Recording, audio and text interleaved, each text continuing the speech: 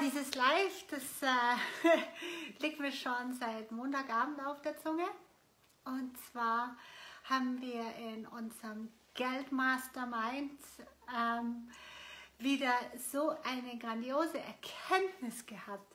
Und die möchte ich unbedingt mit euch teilen, weil ja, viele von euch sind wahrscheinlich auch noch nach der Suche ihrer wahren Leidenschaft und äh, ihre wahre Passion. Und irgendwie spüren wir alle auch, wow, da, da ist was in mir, aber wir sind vielfach noch trotz vieler Arbeit sowas von verkrustet ähm, mit alten Überzeugungen, Glaubensmustern, ähm, Geschichten aus äh, unserer Vergangenheit bis ganz zurück zu unserer Herkunftsfamilie, dass wir keine Aussicht bekommen, was eigentlich unsere wahre Passion ist, weil wir uns nicht mal erlauben, wirklich dorthin zu denken. Und ähm, wenn wir anfangen, mit uns zu arbeiten und uns zu beobachten und klar zu werden, was eigentlich in uns vorgeht, nach was für Programmen wir leben, nach was für Mustern wir gestrickt sind, welche Überzeugungen wir in diesem Leben haben, die wir ähm, erfüllen müssen, umzu. Diese ganze Umzu-Geschichte, umzu, wir müssen das machen, umzu und wir müssen erst das haben, umzu, umzu, umzu. Diese ganzen Umzu-Glaubenssätze, ähm, die schränken uns komplett ein und wir kommen nicht dorthin, dass wir eigentlich sehen, hey, für was brennen wir eigentlich, für was sind wir sowas von passioniert. Und da haben wir am Montag ich kriege ja immer so, so Eingaben sozusagen im richtigen Moment. Ist ja nicht alles meine Idee. Ähm, und zwar diese Passion, unsere Passion, auch deine Passion, die ist in etwas von, versteckt, unter etwas versteckt, die kann dort gefunden werden. Und zwar, wenn du mal schaust, wo du in deinem ganzen Leben schon immer irgendwie angeeckt bist wo du immer dagegen gelaufen bist, wo du immer in die Ablehnung gelaufen bist, wo du immer und immer wieder eine übergebraten gekriegt hast, aber es trotzdem wieder versucht hast und es trotzdem wieder versucht hast. Und bei mir war das zum Beispiel so, dass ich immer wieder Leute getriggert habe. Ich bin immer mit dem Finger in die Wunde. Bei Männern insbesondere ganz früh angefangen hat es bei meiner Mutter. Und ich habe erkannt, dass ich dadurch, dass ich die Leute so getriggert habe und Finger, den Finger in die Wunde gebohrt habe, dass die Intention dahinter war, dass ich gedacht habe, wenn ich das lang genug und intensiv tue, dass die Menschen dann aufbrechen und dass sie dann in ihr Herz kommen und ihre ganzen Fassaden und die, die ganzen Lügen und Geschichten und Stories über sich selber fallen lassen und dann ihr Herz öffnen können und dann mir in diesem Fall natürlich irgendwie liebevoll, offen und unterstützend begegnen. Und meine Strategie war, funktioniert natürlich nicht, aber meine Strategie war immer triggern, immer Finger in der Wunde, immer bloßstellen, also zum Teil wirklich bösartig, um den Leuten wirklich den Kopf reinzudrücken und zu sagen, hey, das Leben ist doch anders, das muss doch nicht so sein, es kann doch frei sein, es kann doch schön sein, habe ich natürlich auf diese Art und Weise nicht aus den Leuten rauskitzeln können. Aber ich sage es euch, ich war absolut passioniert. Passioniert, das Beste aus den Leuten rauszuholen. Natürlich irgendwo aus einer tiefen Überzeugung heraus, dass das Leben noch schön sein muss für alle und auch für mich und auch für meine Mutter und auch für die Männer, die ich dann entsprechend angezogen habe, oder? Ähm, die dann mit mir resoniert haben, die auf der gleichen Wellenlänge waren wie ich und irgendwie nicht aus sich raus konnten, ihre, ihr wahres Sein nicht leben konnten. Und ich dachte halt, wenn ich die anderen fixe, dann fixt es mich. Aber Blödsinn. Heute wissen wir natürlich, wir bringen uns erst selber in Ordnung. Und wir sind erst selber diese Person und leben erst selber dieses Leben, was wir in andere sehen können oder in andere rein projizieren können.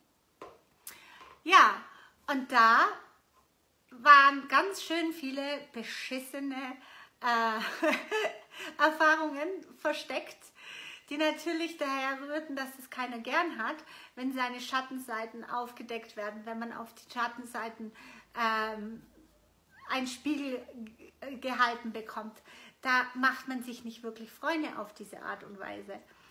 Und ähm, ja, aber es hat mich lange Jahre nicht davon abgehalten, diese Passion zu leben. Das war ist wirklich so eine Programmierung gewesen und ähm, natürlich eine Fehlprogrammierung. Aber was wollte ich erreichen?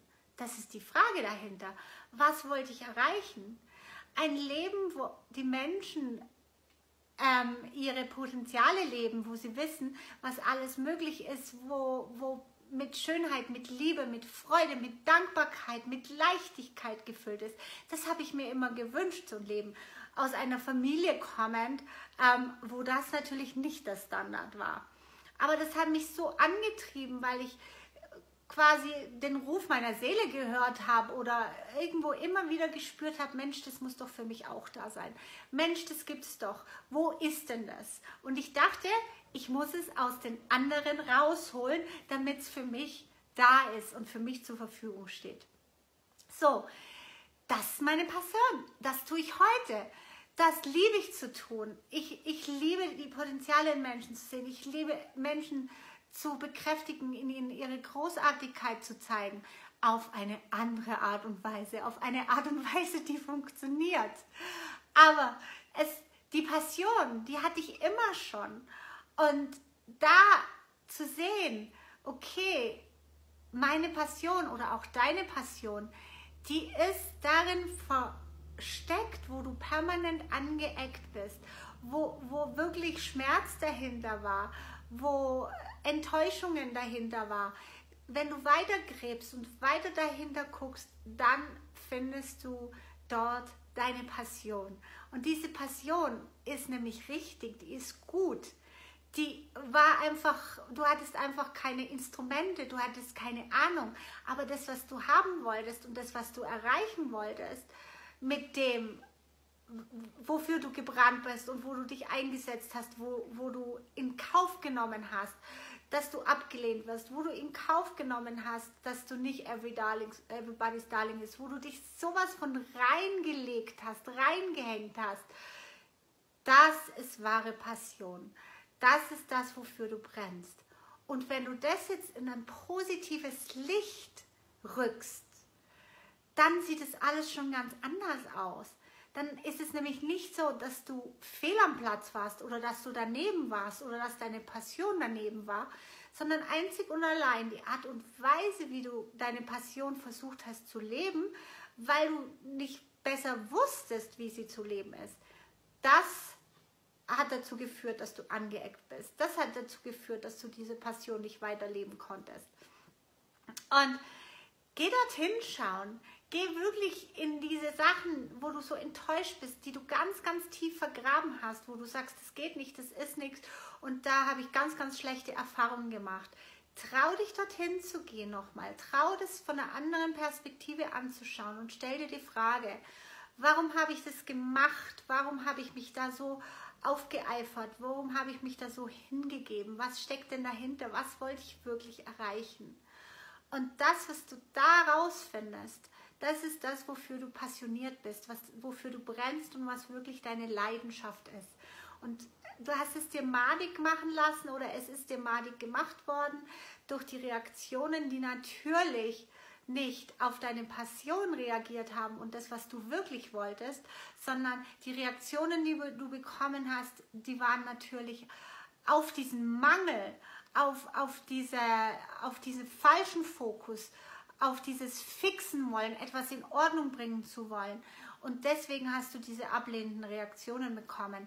Aber wenn du das jetzt weißt, dann kannst du nochmal da hinschauen und kannst deine Passion ausgraben und kannst dir ein bisschen ehrlich zu dir sein und sagen, ja, was will ich denn wirklich?